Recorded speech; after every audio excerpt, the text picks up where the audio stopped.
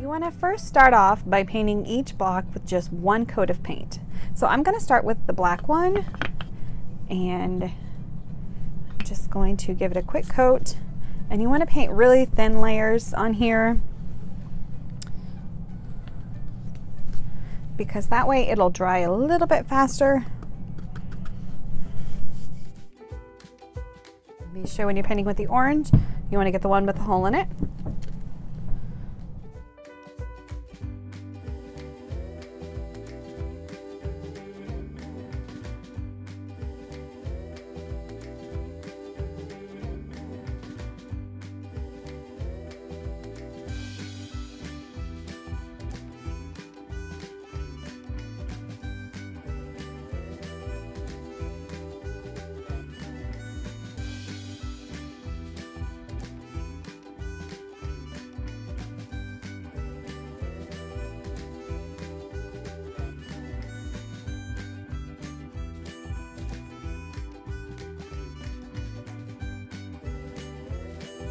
So since we are adding this vinyl decal to the front of the block here, we're going to go ahead and distress it before applying this. So when you're distressing pieces, you want to focus on the edges because that's where it would naturally be worn.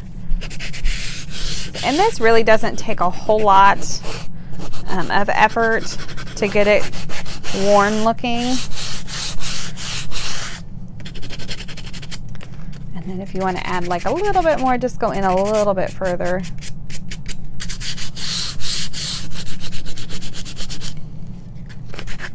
And then just so that my piece is, you know, coherent all the way around, um, I always do the entire piece all the way around.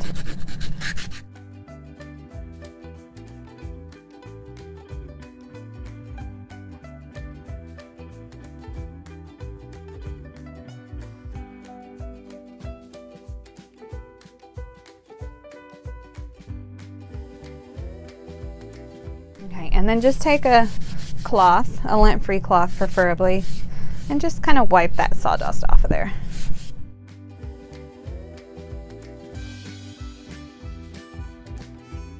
All right, so this piece is distressed and it is ready for the vinyl. What I use is just one of these vinyl squeegees. Um, they're really inexpensive to pick up. Um, I will put the Amazon link of where I got these um, on the post here. So what you want to do is just kind of give that pretty good rub. And you want to do this on a hard surface, so it's okay if you do it on the block itself. And then flip it over and do the same thing. Just kind of give it a good swipe. And then you're going to remove this paper backing and just slowly peel it away. And I usually do this at a really sharp angle and oftentimes I will just kind of lay it flat against it. It's it's um, uh, oftentimes I will just lay it flat against like that and just kind of roll it off. So what you're wanting to do is you want to keep these, the vinyl lettering attached to this clear sticky adhesive, which is the transfer tape. And this will ensure that you get all the vi vinyl lettering um, applied to the front here and just kind of one easy swoop you won't have to do any guesswork. You won't have to um, make sure everything is straight and every letter gets on straight. And this just makes your life a whole lot easier to have this transfer tape. Okay, so now what you want to do is, um, I'm going to face this towards you so that you can see it a little bit easier. Um, but you want to place it on there. Just try to get it as even as you can. I think that looks great. And then from the middle out, you want to just kind of press it down. And then use your squeegee and do the same thing.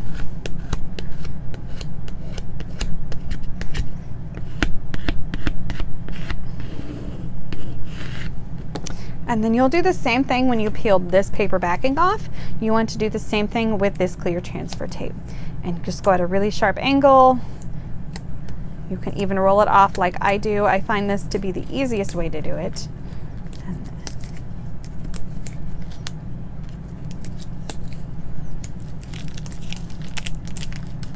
Okay, and then that is on there.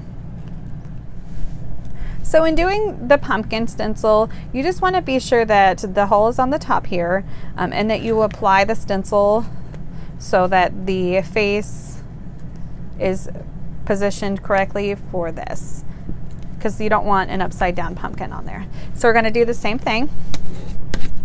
Press that out. And if you don't have one of these, you can um, just use like a library card. Um, I don't recommend using your debit card because you don't want that to break, but any kind of rewards card would be great. Just simply peel that off.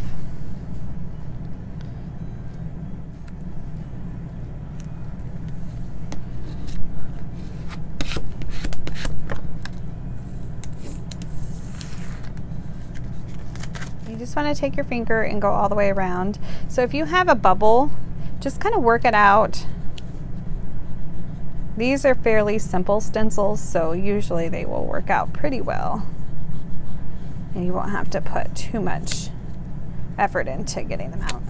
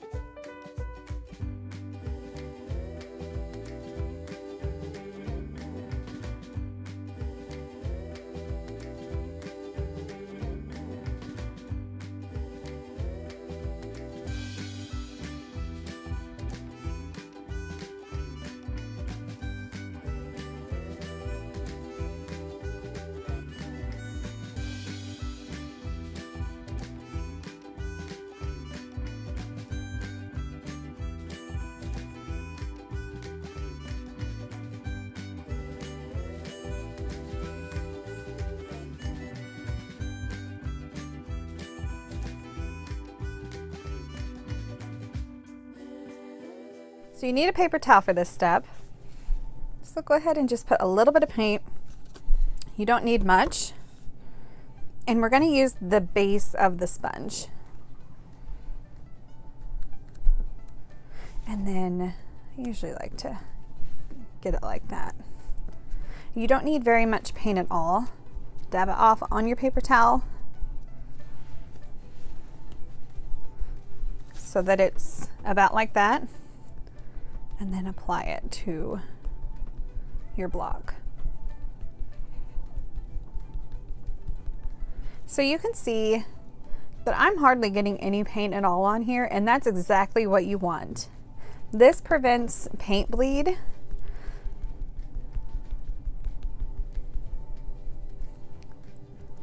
which is something that is such a pain in the butt to fix once you get done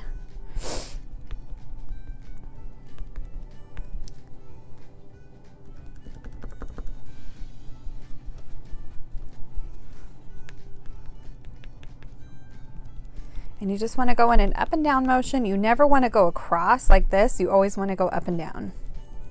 If you go across, then it forces the paint underneath the stencil, and that causes a lot of mistakes.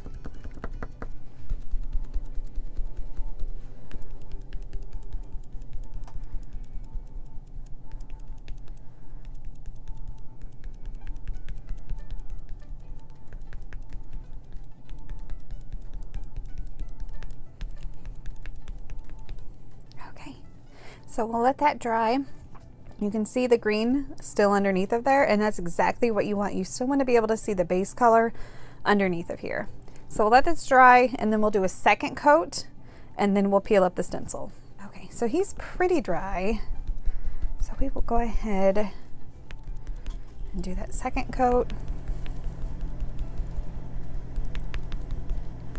And it may not look very dark on here, but I promise you once you actually peel the stencil up, it's gonna be a lot darker underneath there.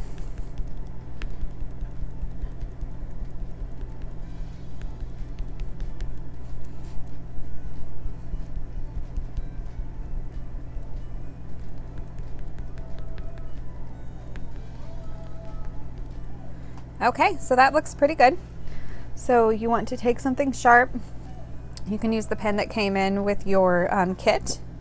And you just want to, if you can't get it, you can pick, pick it up like this and just try to do it that way. And you just want to go from one corner to the other. And you might have to wiggle it a little bit to get it loosened up. And then again, just keep peeling until you got it apart.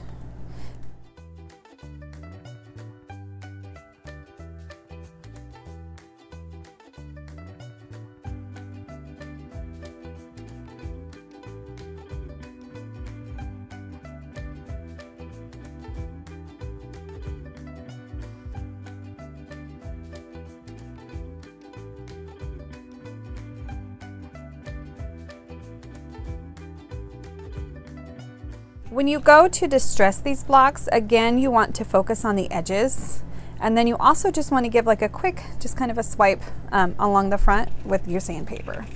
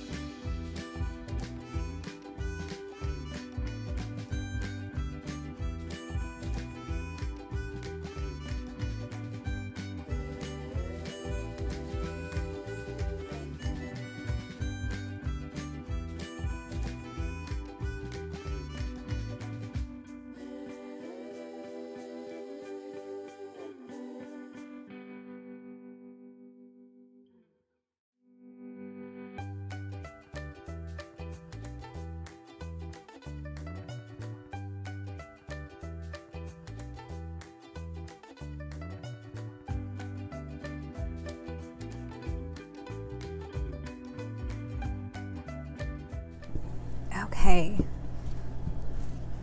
So when you get to this part, you don't, it's um, a pretty tight fit, so you really don't need any glue. So just push them down in there.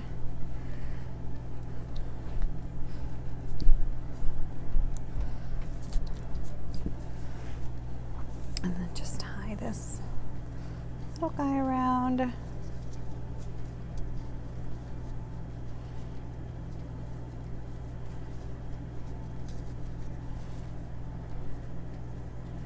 And then if you want to make this a little more ragged, you can always just peel these little things and fray it a little bit more.